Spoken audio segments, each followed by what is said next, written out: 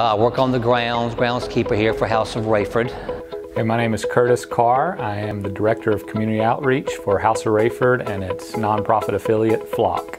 Late 2014, I had some trouble at home with, you know, some of my family members and sort of went downhill and got sort of got put behind bars because of it. I talked to all the men and people that was in there and the warden and they told me, they said, a good place for you to go would be downtown Greenville at the rescue mission called Miracle Hill. I remember when I first met Joey, he had just started working here and had, he was basically homeless. He had gone to Miracle Hill, he had no one uh, in his support group, he had really nothing to his name, and I remember self-esteem was, was kind of low. Um, but the more I built a relationship with him and the more he got integrated into our, uh, our company and really found a place uh, on our staff and was encouraged by some of his leaders and excelled at his job, you could really see his personality come out more.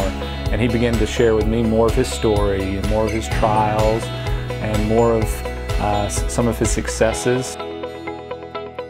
I'm mostly a groundskeeper. I keep up grounds, you know, pick up stuff, whatever needs to be disposed of. I throw stuff away, just try to keep everything looking good for the owners and visitors and, you know, just try to make it look good for them.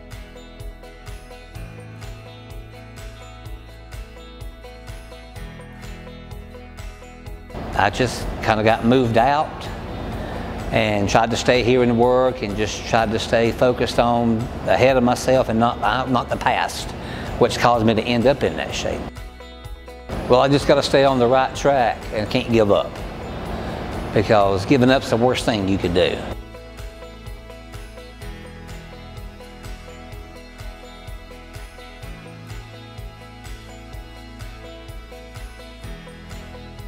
When we identified our main focus areas, uh, Miracle Hill was a no-brainer for us because they cover all of those areas, you know, and, and being a long-standing ministry that does things with excellence and um, with the faith-based component, uh, we were automatically drawn to them. Um, we've supported them with financial contributions, sponsoring um, a lot of their annual events, fundraisers uh, as well as some one-time projects as, as, they've come up. We've uh, donated product to help offset some of the food costs that they uh, they have with caring for so many individuals on a daily basis. I feel like we have a part to play in the testimonies and the miracles that are happening there all the time and it's really encouraging to see that.